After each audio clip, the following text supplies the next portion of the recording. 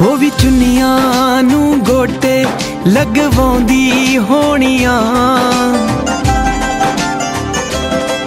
ਤਲੀਆਂ ਤੇ ਮਹਿੰਦੀ ਨਾ ਮੋਰ ਪਾਉਂਦੀ ਹੋਣੀਆਂ। ਮੇਰੀ ਚੜ ਕੇ ਜਨ ਜਾਣੀ, ਯਾਰ ਨੇ ਖੋਲਿਆ ਪਿਆਰ ਦਾ ਬੂਹਾ।